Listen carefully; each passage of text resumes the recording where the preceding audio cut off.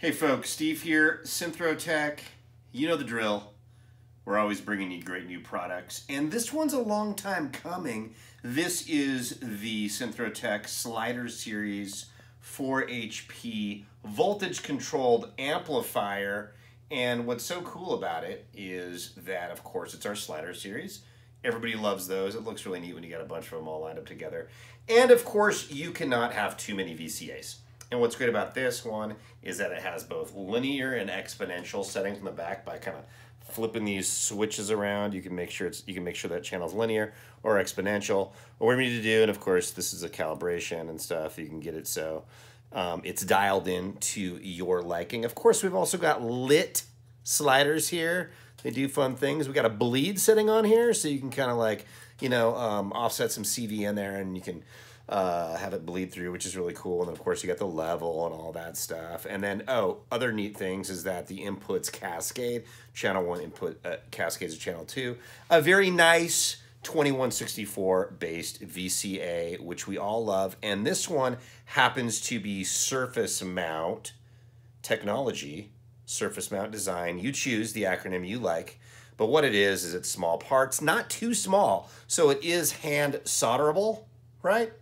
You can do it if you can do it. If you can't do it, I wouldn't necessarily say try. We can build it, of course, here for you by hand or with robots or whatever we have here at our disposal.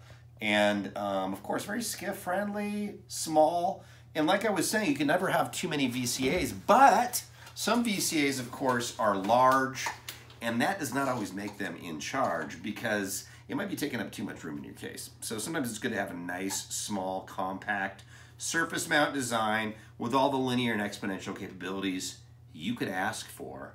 You can pass that CV, you can pass that audio, pass whatever you want through that thing, but you're gonna need this in your system. So anyway, kit PCB complete. We got all the bases covered. And uh, make sure that uh, when you're out there jamming um, in your system, you've got plenty of our other slider series in here because this is a fantastic addition to the system.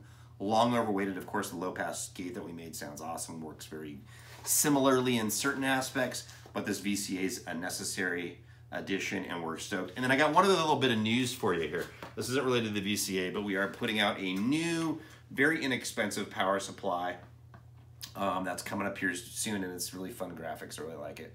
Um, they're inspired by pop culture perhaps, can't say which one but um, it's going to be a dual brick power supply that's going to be very inexpensive relatively and it's going to let you be able to put a ton of amps into your case amp potential potential potential potential for drawing a lot of amps. We got that we got you covered. Have a wonderful weekend and make sure keep your faders clean